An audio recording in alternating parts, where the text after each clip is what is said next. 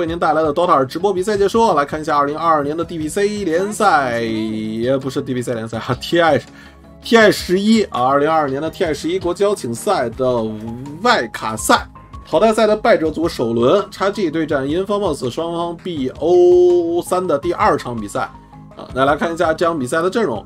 这场比赛，XG 作为先班先选的一方，一手抢了影魔，搬掉的是兽王和 TA。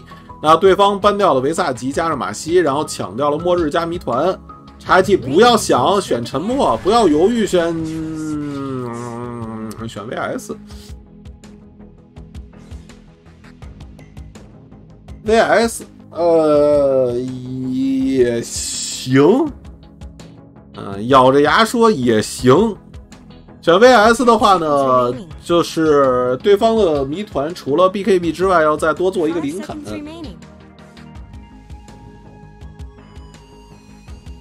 不过我我咱们就是说啊，咱们就是说，VS 的优先级真的会比术士和沉默术士高吗？我其实觉得没有啊，因为。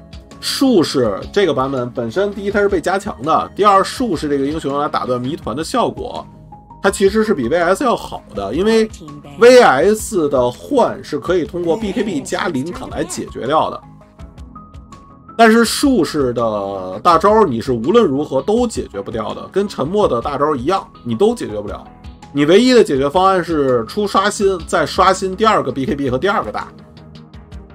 这是唯一的解决方案，但是这个过程当中，对方就已经可以来得及去逃命了。所以他这个就是一定要去选 VS 的这个做法，我现在没太看明白。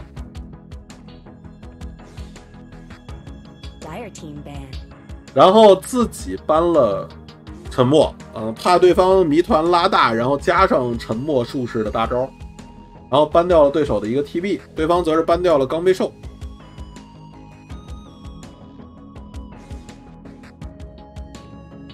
VS 是想走减甲流，想走减甲流的话呢，也就是说他们还是打算拿三号位老十一的大鱼人，然后大鱼人就被搬了。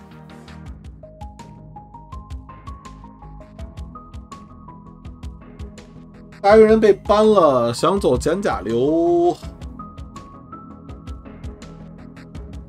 现在 VS 的口加上影魔的光环儿，呃，再加上他们如果想选的话，还是要继续去抢戴泽，还是要抢戴泽。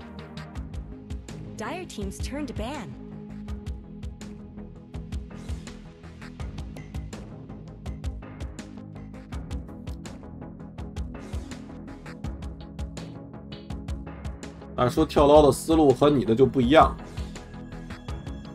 呃，这肯这是的啊，是的。他们不是想去怎么去针对，而是打自己熟悉的套路。但是，说实话，以前的跳刀作为以前 Wins 的成员，以前 Wins 的 BP 其实是一个，就是在他是同时尽可能的去兼顾自己实练的套路和克制对手。另外，值得一说的就是什么呢？拿一个沉默或者是术士，就沉默术士或者是术士出来，并不会破坏掉他的减甲流阵容，因为他的减甲流阵容核心是影魔大鱼，呃，戴泽都都都是在都在其次。说实话，戴泽的减甲在团战当中其实减不了多少，而且如果你真的特别愿意走一个减甲流的话。三号位的大鱼被搬掉，你还有另外一个人选可以选，是这个家伙。你可以用这个家伙出一仗啊，对吧？你可以用这个家伙出一仗也没有问题啊。这边第三手拿出来的是一个小强，那我估计可能三号位。要考虑一手三号位 VS 吗？三号位 VS 也行，有个 A 仗的话，两条命也是不错的。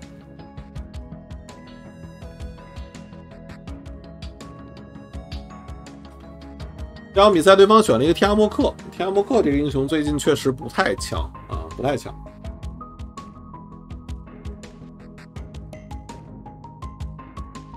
当然不太强，是相对于以前他几乎大家把把都在抢他的这个呃来说，他现在确实强度比较低。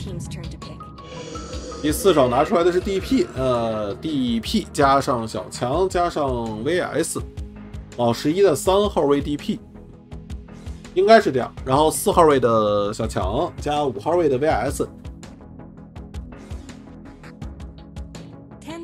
这样的话，大哥位对方应该会选择去搬掉一个虚空，呃，对方也差一个大哥位。叉 t 这边对方的大哥位，剑圣可以考虑搬一下。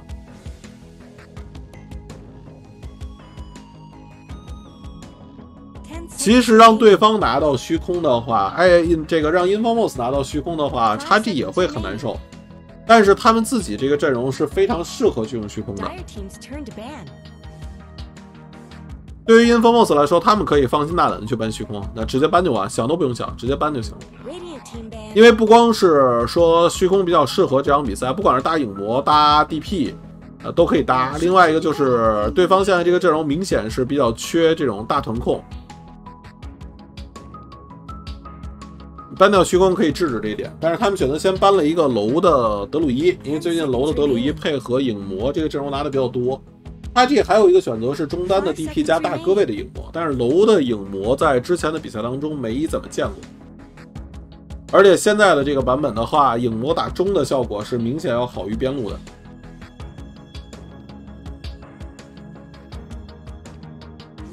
大叔说话的时候为什么老是摇头？活动活动颈椎啊！阿弟果然还是把剑圣给搬了，啊，剑圣搬掉的话，对手这场比赛作为最后一手先选的 XG 可以抢虚空，呃，还可以拿水人，拿水人也行。这场比赛只不过就是拿水人的话，没什么特别好变的人，对方这几个人的话，水人变的都不是很厉害，这是真的。大哥影魔吧，DP 现在还能三，DP 现在可以三，呃，打三号位可以打，没有问题。他只是没有之前的版本三号位那么变态了而已，但是仍然可以用。水人哦，水人自己搬了。诶，我刚才这个眼睛又眼睛又又又花了吗？没看见这个水人啊？为什么？我还专门扫了一眼这个 BP，结果没看见这个水人。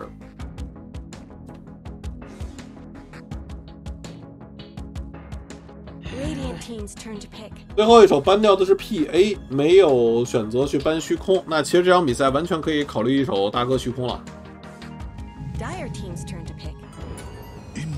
火猫，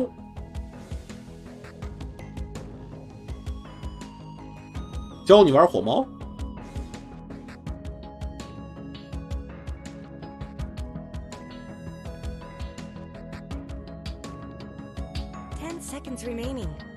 火猫跟他现有的这个阵容，嗯，感觉匹配度还好吧？我感觉匹配度一般般。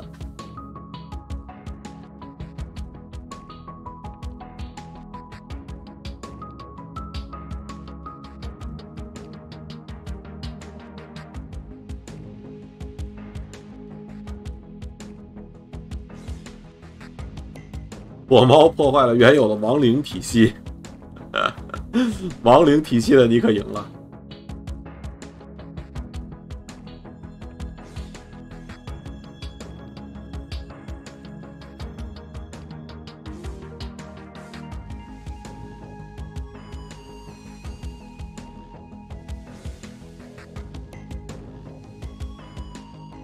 感觉是以抢代搬，这场比赛他们没有必要用把火猫以抢代搬。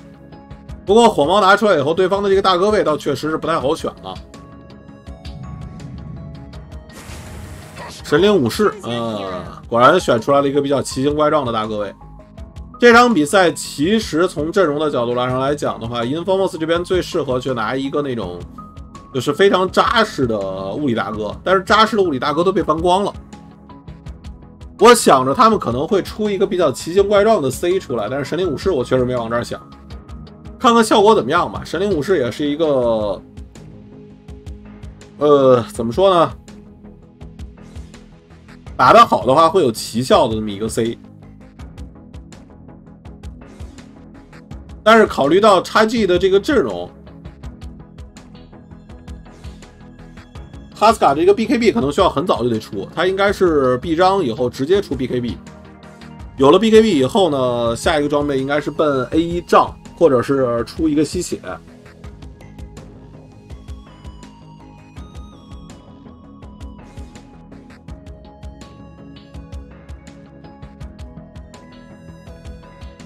那说小骷髅现在打一号位的潜力高吗？高，现在小骷髅很厉害。这个阵容为了限优的话，倒是，嗯，说实话，这套阵容我看了半天，我没有看出来他记得这个阵容它的强势点在哪儿。就是你作为一个队伍职业队伍的话，你一套阵容拿出来以后。你自己组建的这套阵容体系的话，它应该是有一定的套路和有一定的强势点在里边。呃，目前我还没有看出来，看看待会实战的效果怎么样。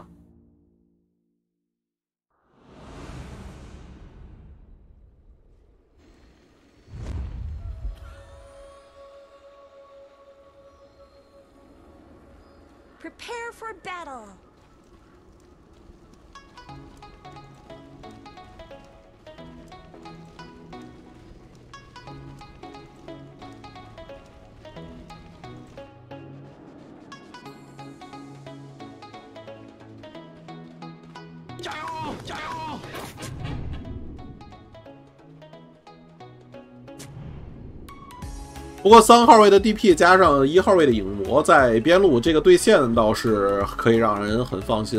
呃，对线期应该不会吃什么亏。火猫在中路的话，打对方的丽娜也问题不大，起码混线是一点问题都没有的。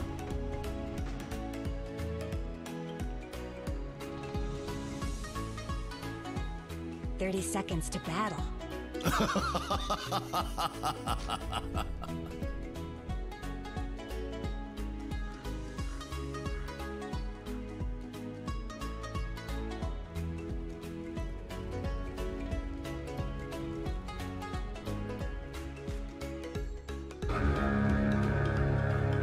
我想了半天，这个叉 G 这个阵容在对线期过了以后，呃，我都不觉得这个阵容很适合叉 G 的队伍风格。看看实战吧，我确这个觉得它不适合队伍风格的主要原因是，中国战队普遍，尤其是叉 G，他们普遍打的节奏比较多的，而且效果比较好的都是那种，呃，就是我主要依靠的是一个。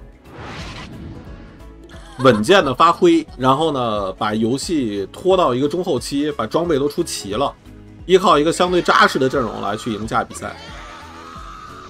但这场比赛叉 G 的这个阵容明显不是这样的一个风格。这场比赛叉 G 明显是需要在游戏的前期打出来更多的一个效果。这边火猫在中路是遭遇到了对手的一个神灵武士啊，对方是把神灵武士放在了中路，把丽娜放到了边路，让神灵武士过来中路和火猫对线。呃，神灵武士这边一级加一个心炎来帮助补刀。由于一级的这个火矛的性价比比较低啊，所以他也没有选择去一加这个火矛。一般火矛这个技能现在是丢到三级再用，三级以后啊，三级甚至四级才开始丢火矛。二级的时候一般是用来加一个被动来给自己回血，然后心炎来确保自己跟对方的这个对线不吃亏啊，至少在补刀方面不要吃太多的亏。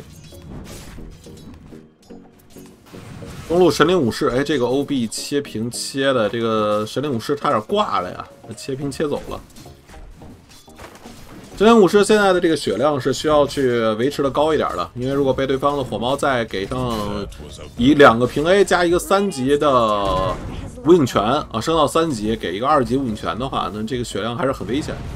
让这里再给上一个心炎，决者这边再溜达过来，等一下把这个兵线拉出来，然后呢塔刀，哎，这个塔刀没补到。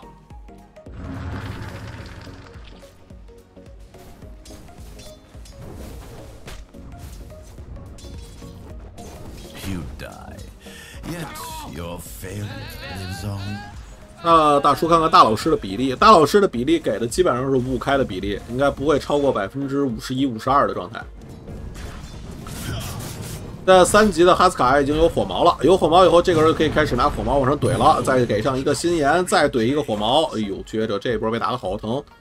嗯，这边已经是看到了看到了这个神符，但是要等一下自己身上这个火毛消失，过来灌一个瓶子。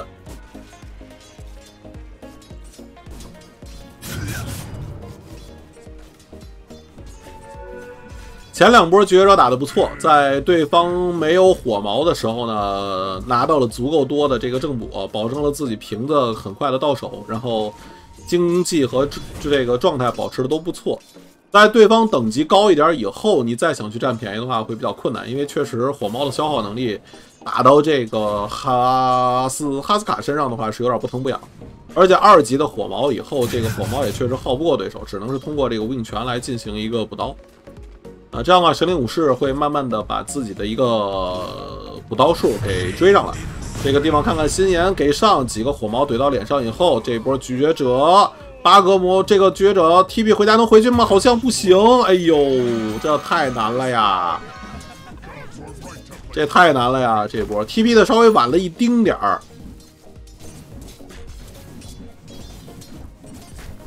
最后那一跳的伤害是刚好把这个火猫烧死。这一波打完了以后，哈斯卡直接在中路是率先升到了五级。呃，率先升到五级的话，这个火猫就难打了呀。因为如果是这个火猫换线了，这个火猫必须要换线了，已经，它不换线的话打不了了。但是你放 DP 过来的话，其实 DP 也有一个很大的问题。就是对方的哈斯卡现在已经五级了的情况下，你一旦让哈斯卡升到了六级，啊，他卡兵线位置一个六级大招上来，你是必死的，你完全不可能扛得住这个哈斯卡的输出。所以这个时候要有一个队友来蹲，蹲来蹲的队友最好是小强。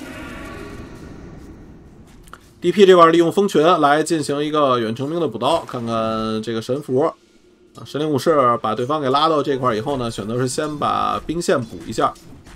目前哈斯卡在前期是在中路达成了自己的一个无解肥，这边应该是马上升六了。哈斯卡这边应该是马上升六了，站位往前挪一挪，然后在这个位置是准备清掉这波兵线，到六的一瞬间，直接一个大招摁到对手的 DP 脸上。这波兵线我怎么感觉不够啊？好像杀了这个兵以后还差一点似的样子。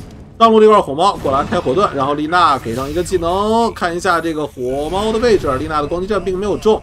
这块小强给一个穿刺，假装吓唬你一下，身上并没有皮，丽娜这块也追不上。啊，中路这块哈斯卡果然刚才那个远程兵在打掉以后，剩了一丝儿的经验，没有升到六级。这块给上一个火矛。哈斯卡这块不能着急啊，这个地方直接大招甩到对方的脸上的话，有可能被对方蹲死。他现在在观察的是对手的这个小强，小强只要在线上一露头，他的大招就怼上去了。小强没有露头，所以哈斯卡不敢动。嗯，自己家的这个优势路并没有视野，看不到对方小强。其实小强没过来。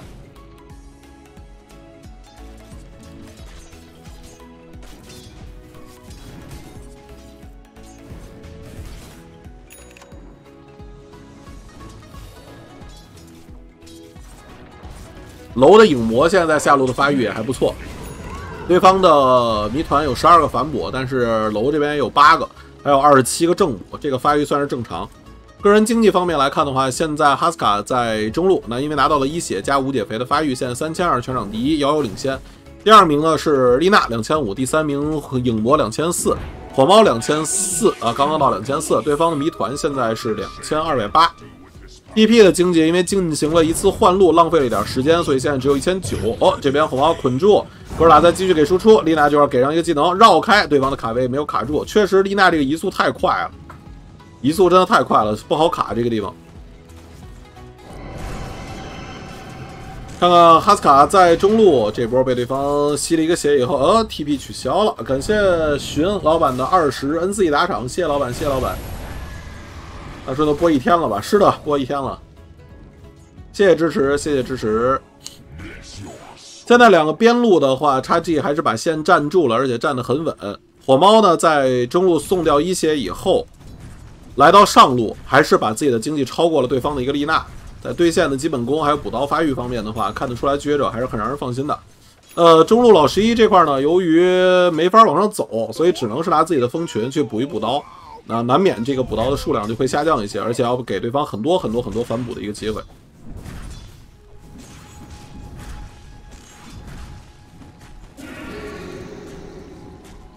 这边再反补一个远程兵目目前这个哈斯卡是三千八百块呃好在团队经济没有进一步的拉开刚才是一千多现在又是缩小到了一千以内。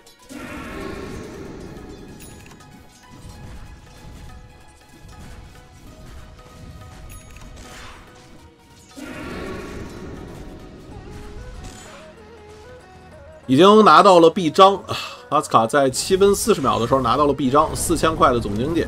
看看下路这个位置，一张 TV 亮起来，小强往过走，这个穿刺，这谜团合击先带走对方的一个 VS，但是这波末日是被对手一个硬压直接压死，可以楼这波赚了，那拿到一个对方末日的人头。虽然谜团是 A 死，呃，这个末日虽然是烧死了对手的一个 VS，但是 VS 毕竟不值钱，对吧？VS 毕竟不值钱。当然，这场比赛末日也是个辅助位，对方的三号位是谜团啊，末日也是一个辅助。这种一换一对于 XG 来说，现阶段是可以接受的。而且从实际的压力上来讲的话，目前 Infamous 还没有开始给压力。谜团现在升到了六级，这里直接技能给上一个穿刺，啊，看一下 VS 接一个锤，但是你要小心他拉你。这边神灵武士的大招直接给到影魔身上，把影魔秒掉。另外一侧末日开着自己的呃末焦土在往上追，皮亚莫克过来给上一个命运之笔，减速成功。P R W 还在跑，这边几个小谜团的平 A，但到 A 上去以后带走了 P R W 的小强，人头数来到了四比二。这段时间 Infamous 又是把团双方的团队经济重新拉开到了一千加。这块神灵武士已经可以开着自己的臂章，然后来去拆对方的下路一塔了，甚至还有空去切个臂章来修一下防御塔。兵线走上来以后呢，哥几个开始开始继续拆了。下路上路这边丽娜给对方一个光击阵，老师一这波一个大招开出来，并没有能够找到机会击杀。再回去的话，这个大招的时间感觉要浪费一半啊，浪费一半甚至一多半啊。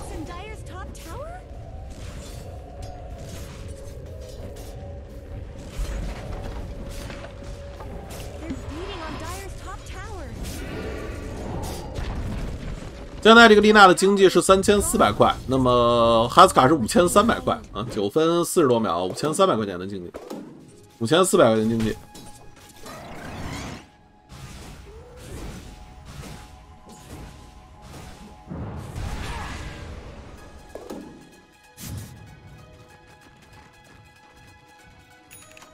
神灵现在带节奏去击杀对手的英雄还是比较困难的，这个时候他不适合出去击杀。这个时候，哈斯卡最适合的节奏其实是围绕对方的一塔来做文章，就是避开对方的强势点，这抓落单，配合队友去抓落单，人多打人少，然后拆一个对方的一塔，或者是在对方发育的时候直接拆对方的一塔，这个是比较适合神灵的一个节奏。这个阶段对方的控制现在很足，VS 小强、火猫的 TC、影魔的技能爆发是有的。对方现阶段的爆发力和控制都很够，如果神灵武士贸然去进攻的话，很容易被对方把节奏一断，这场比赛就没了，就没这人了啊！断两次就没这人了。所以神灵武士这个时候最好的方法是先忍到 BKB，然后但是忍到 BKB 以后就不能再忍了啊，绝对不能再继续往后刷了，一定要开始去搞事情，要去不管是推塔、打盾、开团都行，但是总要做一件事情或者两件事情，一定要去做事情了。他现在应该就是在着急出自己的这个 BKB，把 BKB 做出来就好了。没有 BKB 的情况下，对方的这些控制和魔法爆发，他扛不太住的。其实，BKB 出完了以后呢，比较好的装备选择是 A 杖，嗯，因为他们自己这个阵容的控制其实比较别扭，都有控，但是都很别扭这个控制。呃，就是这样。就是这样，就是借助着你的大哥去远处刷钱的时候，然后我过来去围绕着你的一塔做文章，也不太浪费时间。然后呢，我也不会被有你找到机会去反杀。这块虎猫一个 TC 捆两个，这沉默给一下，然后接着往回撤。就是我也不跟你打。这个时候你要是追上来，我再跟你打；你不追，我不跟你打。看一下这块谜团，谜团这个位置被对手留住了，然后神灵武士再上来打谜团，转身拉住对手两个人，但是很快的就被打死了。神灵武士这里一个心眼打中对方三个，开始疯狂输出。丽娜直接给一个攻击阵，看看对啊，还是被打死了。完了，影魔的节奏被断，这里复魂给上，丽娜转身开始给输出，这里被 VS 给一个锤，然后影魔过来给影压，末日在旁边在努力的给机会，楼的影魔现在没法打了。地外的 VS 这里吃一口魔棒，对方的丽娜再追两个平 A 飞上来，那没有办法了。这波是被对手的丽娜达到了一波双杀，但是整体来说，这个团战的结局对于 XG 来说是完全可以接受的。虽然是人头数上面的一个四换三，多亏了一个人头，但是第一影魔没死，第二断掉了对方哈斯卡的节奏，这两点都非常的关键，而且运气不错。在对方的谜团大招只拉了大概两秒钟的情况下，就把对方谜团给带带走了，没有让神灵武士完成一个完美的输出。我把影魔呃说成影魔节奏断了是吗？说错了，是把这个神灵武士的节奏给它断了，不是影魔的节奏被断了。影魔的节奏没有被断啊，说反了。头部啊。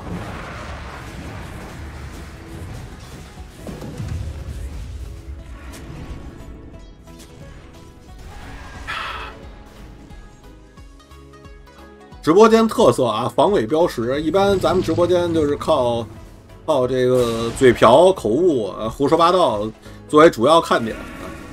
什么 B B P 猜的特别准，局势判断特别准确，什么这种事儿，偶尔会有啊，偶尔会有，偶尔会蒙上。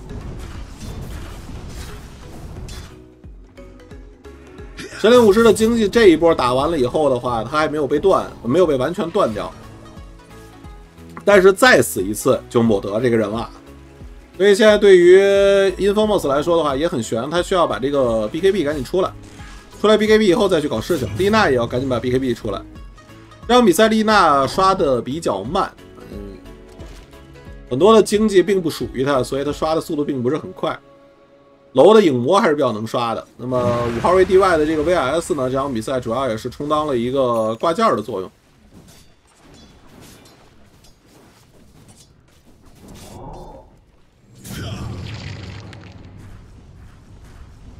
法师克星可以打神灵用吗？可以打神灵用。不过由于哈斯卡的输出是一个半物理半法系，所以法师克星打哈斯卡的效果的话。并没有那么厉害，呃，这波换过来直接接穿刺，nice。然后呢，这波火爆过来给输出，哈斯卡直接给上一个心眼，不过还是血量太低了。队友支援过来以后呢，火爆一个 TC 留住对手的末日，然后 DP 开大招过来带走，漂亮。火爆往前追一下，被对手给一个沉默打掉，下一个 TC 有没有这个运气？没有，呃，没有放 C 就给了一个无影拳，那单位太多了，实在是炎阳锁不好给。那行了，那哈斯卡这场比赛就没这人了，嗯，已经没有这个人了。接下来就看叉 G 怎么去把握机会，把比赛的这个优势给他打出来。哈斯卡在游戏的十五分钟这个时间里面，在没有做成什么太多的事情前提下，被击杀两次，那这场比赛已经没跟这个跟这个英雄就没有多大关系了。谜团过来以后给上一个增物，然后呢这里沉默接上去，丽娜再给技能。莫勇并没有扎到对手，一直是一个幻影之拥在跟着撕，然后丽娜再往前追，米娜再往前追，这里一个光击阵没打中，这里再给一个大招，一个龙破斩，龙破斩没有中，那这样的话大招也白给了，追了半天没追上对方的小强，这个也是有点尴尬。那打完这波以后，哈斯卡跑过来打入山，这个就属于是最后一搏了。那对于 Infamous 这边来说，就是最后一搏了。这也敢切臂章？这个臂章切不好的话，一波要被对方带走的。得看一下后排，复魂给上，然后拴住一个，但是两个人一起撤退，没有受到影响。哈斯卡拿到二山盾以后呢，目前已经有 BKB 了，带盾带 BKB。呃，Infamous 这个时候有一个被迫提速的需要，他需要被迫去提一下速，让自己能够把这个盾的效果发挥出来，至少要拔掉对方的一个二塔，至少要拔掉一个。如果这个盾拔不掉对方的二塔的话，这场比赛大概率就抹得了啊！然后就会变成，也不是大概率母德了吧，就会变成一个依靠，就像其他的正常的谜团的比赛一样，变成一个指望着谜团神级大招的这种比赛了。但是这场比赛呢，谜团这边是有解决方案的，就是对方对于你的谜团是有解决方案的。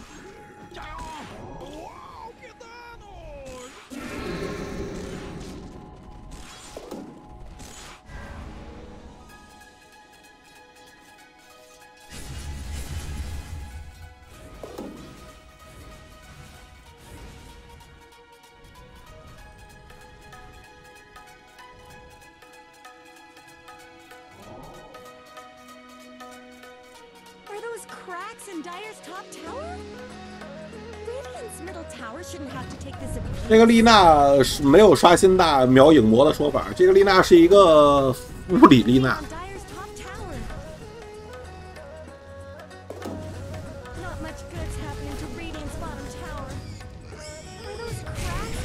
看看这边杜牧上来踩一脚，谜团增物给上，然后呢，这个地方小强被带走了，小强被对方直接给带走了。Infamous 这边还是要继续主动进攻，带着哈斯卡，你要是被动防守的话，这个比赛基本就等输了。这里一个 TC 打上去，呃，哈斯卡的肉山盾和对方的二塔一换一。这边打完了以后，哈斯卡站起来以后，感觉血量太多，不行，赶紧一个大招先打到兵线身上，把自己的血量降下来。其实你开着开着这个臂章就行了。看看这里沉默给上，然后莫勇，但是跟不上去啊！哈斯卡这边大招施法距离不够。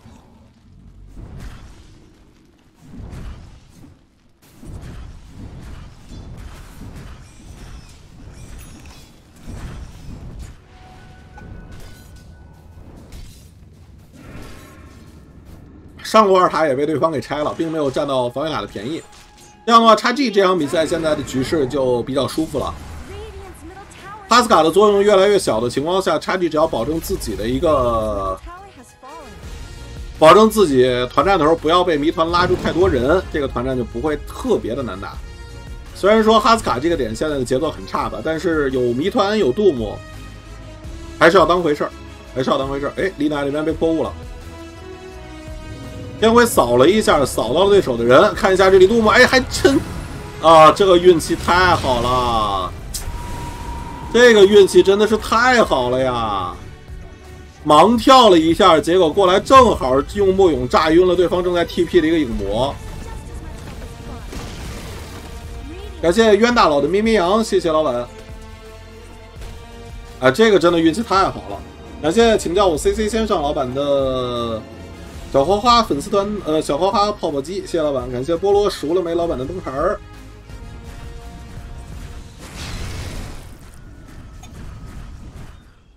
这个确实是对面运气太好了，谁能想到一个套着末勇的末日正好跳到了一个正在 TP 的影魔身上，而且还是在视野外盲跳的。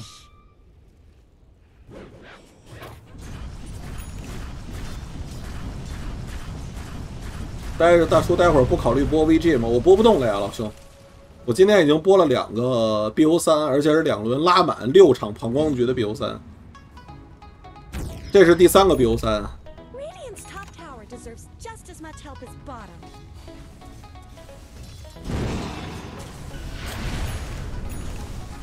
Radiant's top tower is under attack. Dyer's bottom tower is under attack. 上路的这个二塔这块，现在哈斯卡在 BKB 出完了以后，下一个装备肯定是出 A 仗。有 A 仗以后，呃，这里小强的技能空了，这块哈斯卡直接冲上去送了，漂亮啊！这是什么样的哈斯卡呀？我的天！看着这样的职业比赛，我突然有一种我上我也行的感觉。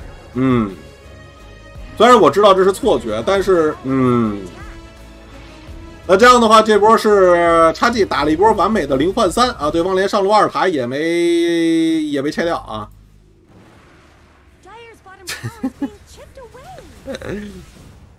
呃，他在飞上去的那一瞬间，我的脑中闪过了他身后有戴泽，身后有全能骑士，身后有亚巴顿，身后有神域的这个这个感觉，你知道吗？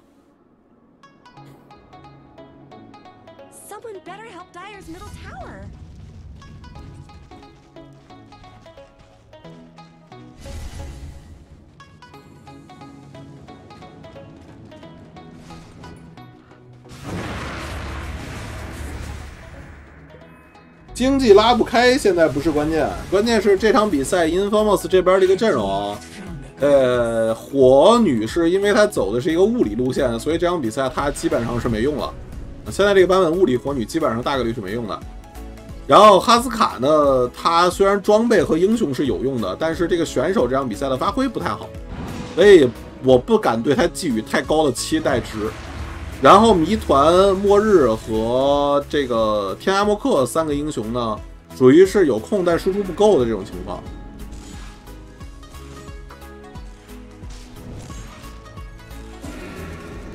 所以现在就看叉 G，叉 G 只要稳住了，呃，不出现被对方谜团一个大拉一万个人的情况就没问题。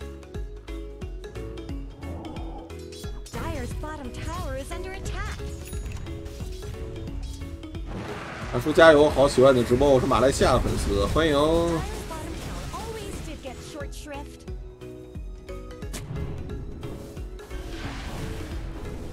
你可快别说了，这场比赛谜团一个大拉一万个人的概率非常的低，几乎不太可能。因为这场比赛首先得有 VS，谜团的大就不好放。第二个是火猫和影魔的团战站位以及 DP 这三个英雄的团战站位是在三个不同的位置，所以根本不存在这三个人站在一起去集火一个人的情况。谜团是没有机会一次拉一群的，就算拉了 VS 还可以换嘛，对吧？所以不用太担心这个问题。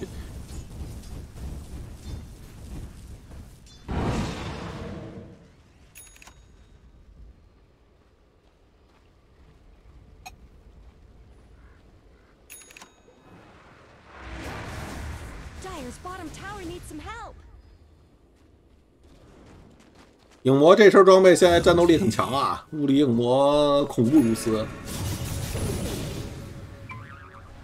大引刀、假腿、魔龙枪，中立装备带的是个飞贼之刃。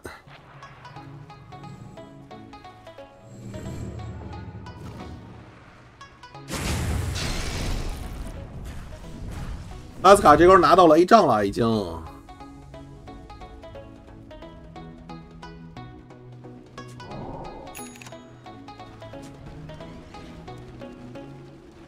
谜团想大一群是真的很难，这个不不用担心奶不奶的问题，这个阵容决定的这个问题。而且现在谜团连 BKB 都没有，你开大的时候，我甚至可以小强直接开个皮走进去，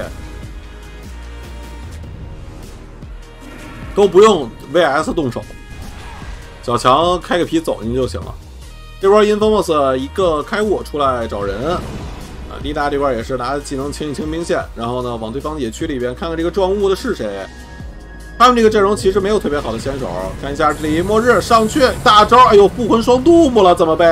这边影魔直接转身跟你硬刚，然后神灵武士一个大招打住对方两个，再给上一个心眼转身先杀对方的 DP，然后把这边小强带走，谜团拉住了对手一个人了吗？好像没拉住人啊，他好像没拉住人啊。他拉拉住谁？拉住 VS 了吗？还是拉住谁了？我怎么感觉好像拉了个空大呀？这个谜团。我们来看一下啊，我们来看一下，这边是一个复魂双杜姆加双神灵武士大啊，拉了个 VS。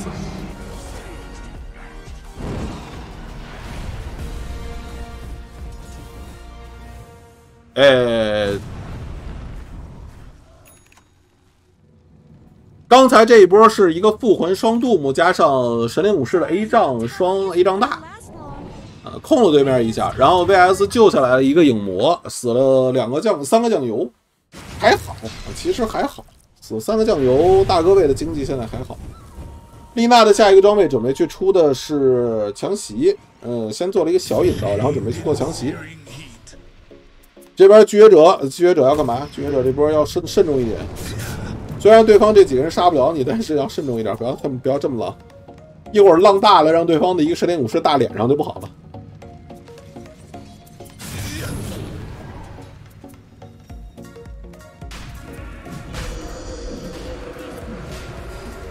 他这时候果断的过来打一波肉山，DP 手里有大，对方的谜团和末日都用过大了，所以我这会儿用大，你没有大，我就占便宜了。这个肉山看一下谜团丢进去一个凋零，然后另外一侧末日那边被控，影魔马上打完，对方这波来得及吗？这个肉山，这个肉山被对面抢了。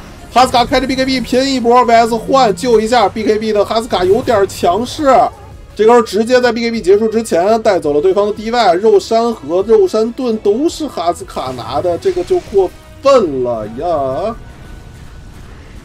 魔晶也被他拿走了，这魔晶给到了谜团身上，让谜团吃。呃，为什么不给丽娜呢？哦，丽娜是个物理丽娜，对对，我又记串了。物理物物理丽娜不需要这个东西，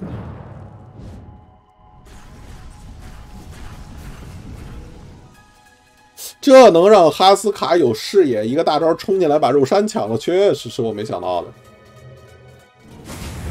这块一个大招上去，但是对方是有林肯的，火猫这边很机智，直接是做了一个林肯来防对方哈斯卡的大，很聪明啊，这个是很聪明。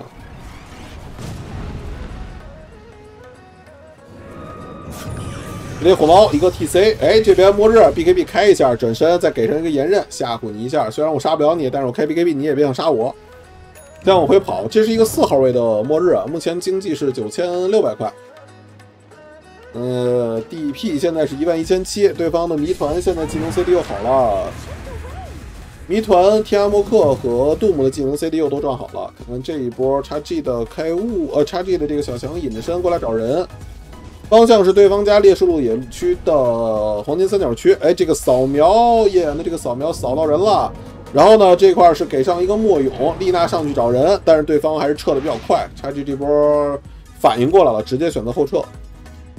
看看这块小强，哎，小强的这个位置，小强这块身上是有宝石的，小强手上宝石这块应该是不会有人发现的。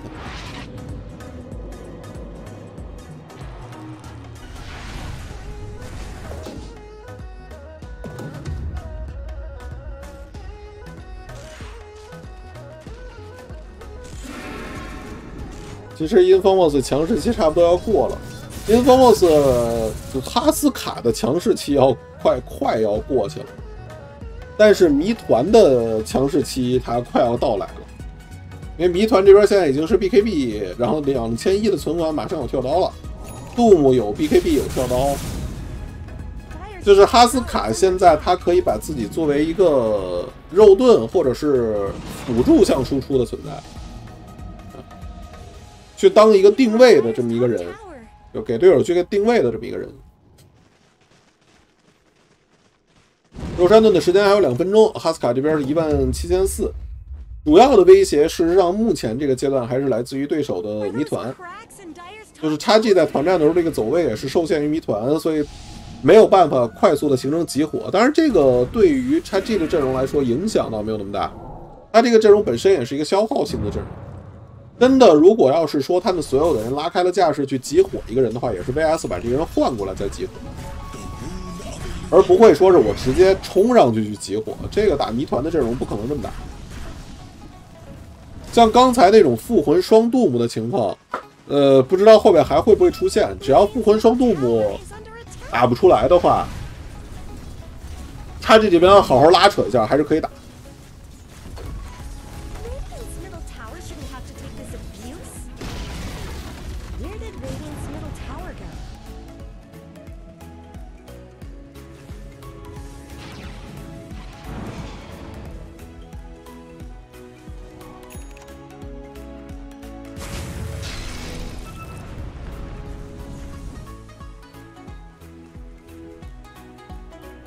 阿斯卡的经济目前还是保持的不错啊，一万八千三百多块。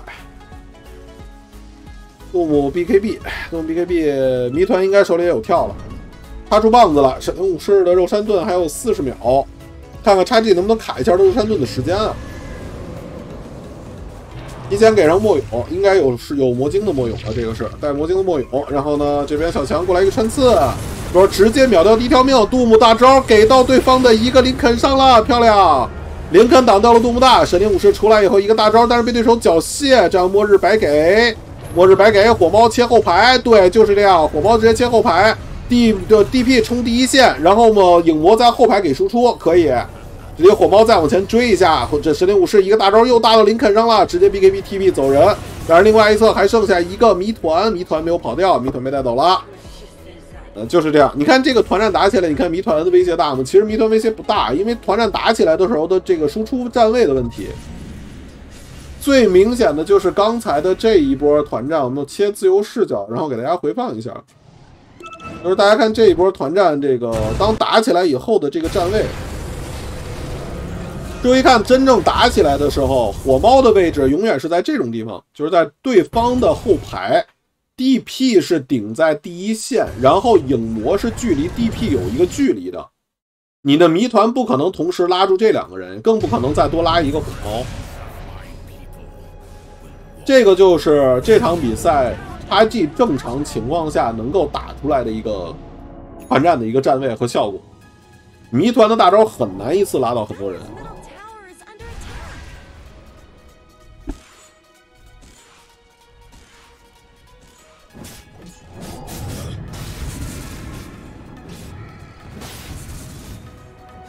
杜姆不是没看影魔装备，影魔的那个林肯是火猫给他套的，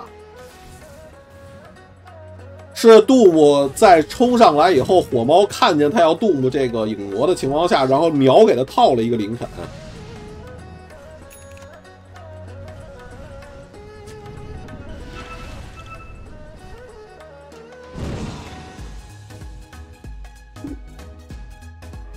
这波是拒绝者的火猫反应很快，然后找的这个对象找的很及时，反应过来了。这种就是在杜姆抬手之后秒给林肯挡对方杜姆大的这种操作，在职业比赛里面其实见的不算少，我们道理见的不算少。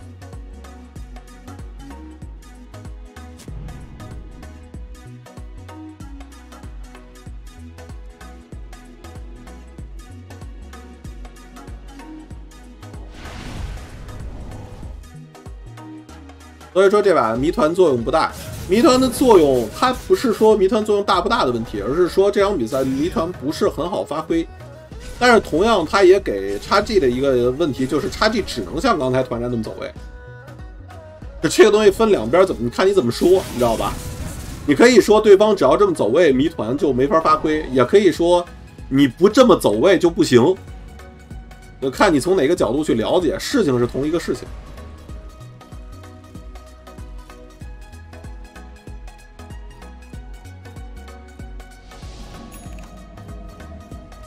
现在影魔下一个装备准备去出的是撒旦和 MKB，自己又多做了一个冰眼，这样的话就算是被你动到了，我也未必扛不住啊，我也未必扛不住啊。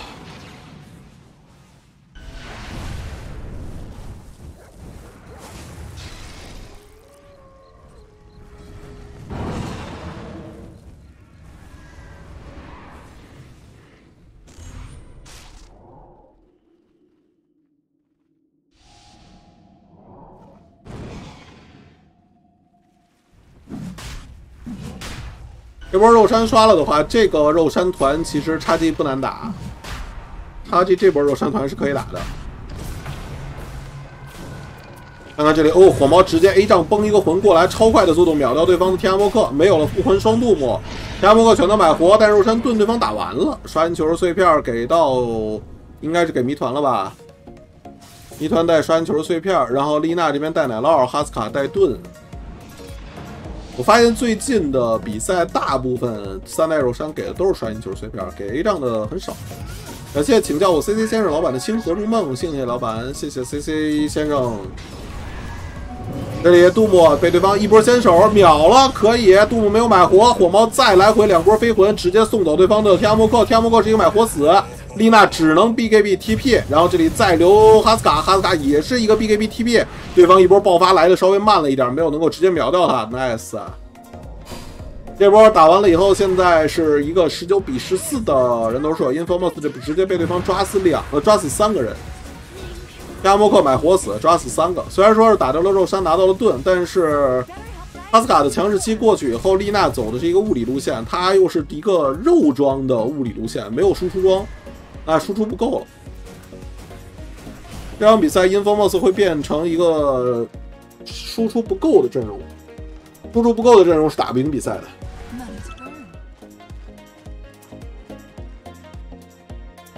只要不被谜团拉四个，对吧？拉四个拉五个，这场比赛拆 G 应该是输不了的。随着英雄的硬度逐渐起来了，然后呢，火猫这边林肯加上 A 仗正面战场，对方基本找不着这个火猫。影魔这边的装备呢是一个肉装出装，虽然是一个输出的路线，但是也是一个肉输出路线。对方想秒这个影魔秒不掉，还有一个 VS 能随时救，谜团的大招也不好给。这场比赛应该是拿下了，我觉得这个局势下去应该是拿下了。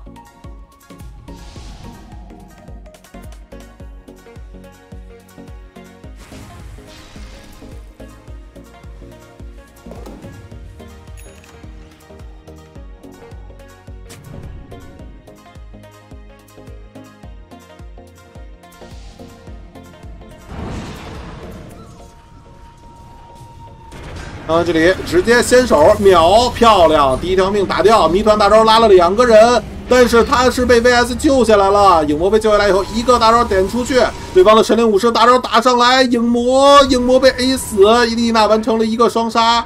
呃，这他就有点难受了呀，这影魔七十多秒复活呀。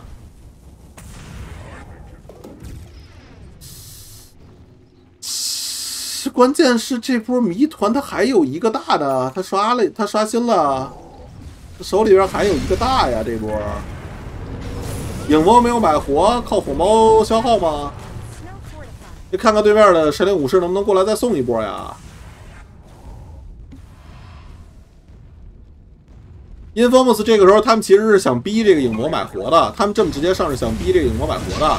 这块大招给上去，然后直接突突带走对方的小强。谜团又是一个大招拉住了对方的另外两个大哥位，买活的小强和 DP。看一下这个火猫，血量剩的不多了。VS 这给上一个锤，VS 好像没有铂金。小强过来给上一个穿刺，再一个沉默。现在正面战场还是一个五打四，但是叉 G 是买活了好几个人。对方接着拆上路的这个高地，开个塔防，影魔还有十几秒的复活时间。Infamous 其实是可以拆完再走的。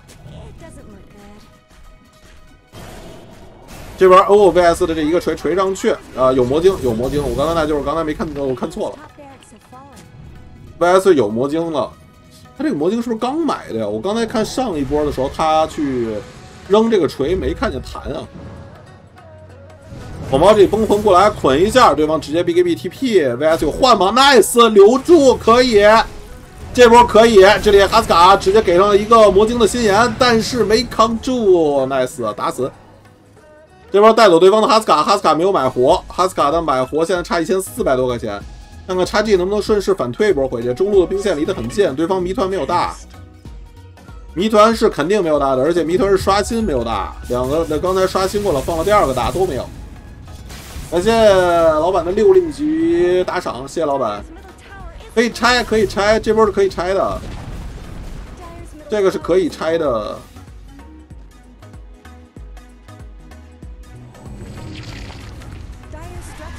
呃，提前开了塔防，这个塔防开的时间非常瞎啊！这个塔防非常非常瞎，这个属于是一个就是开了跟没开一样的塔防，一点意义都没有塔防。然后火猫直接往里面扔一个魂，然 后过来吓唬你。中路兵线上来以后，哥几个跑到上路去拆。这里杜牧上来，这里破林肯，杜牧给上去了吗？好像还是被对方挡了，两个林肯挡了一波，复魂给上，丽娜一顿疯狂输出，点死一个 VS。好像两个杜牧都没给上去，自己有一个林肯挡了一下，火猫给他套了挡了一下，破了一个，然后又被挡了一遍。这波叉 G 还是表现的非常漂亮，虽然这个高地没有破掉，VS 被击杀了，但是挡掉对方杜牧的破林肯加一个大招，浪费了对方一个杜牧大。呃，Infamous 这边有可能会选择再追出来一波，因为谜团的大招 CD 撞好了，有可能会再追出来一波。因为现在没有 VS 的情况下，Infamous 这边谜团的舞台很大。感谢 Jason 老板的八欧元打赏，谢谢老板。大叔解说辛苦了，谢谢老板，谢谢老板。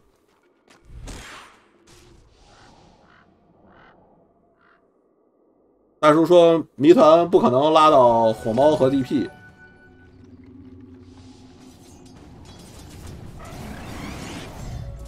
我是说他不太可能同时拉到那三个人。因为那三个人的站位不一样，刚才那一波是因为在高地上面的走位出现了一点点的失误，让谜团抓了一个机会。那是失误，那是失误。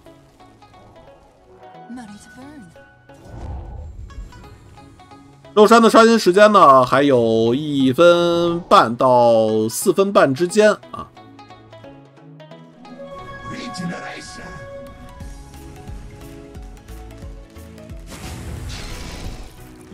在神灵武士的装备，我们来看一下啊，强袭 A 杖天堂 BKB 加一个臂章，嗯，有魔晶，有魔晶这个东西对于哈斯卡来说还是很重要的。感谢 Jack 大佬的二十澳元打赏，大叔辛苦，谢谢老板，谢谢老板支持。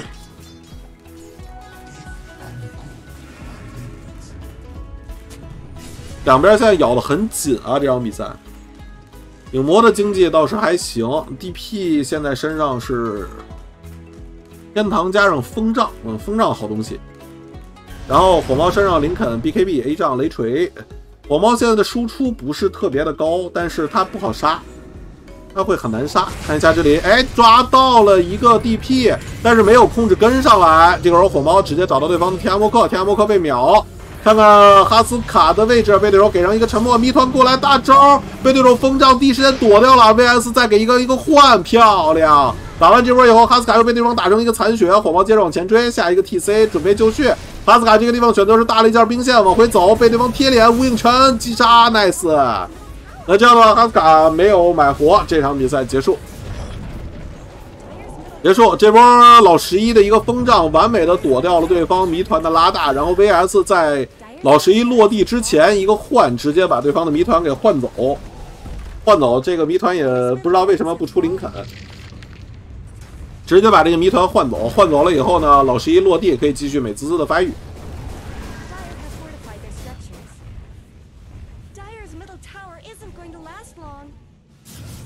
好，那么这样的话，这场比赛应该是可以结束了啊，是结束了。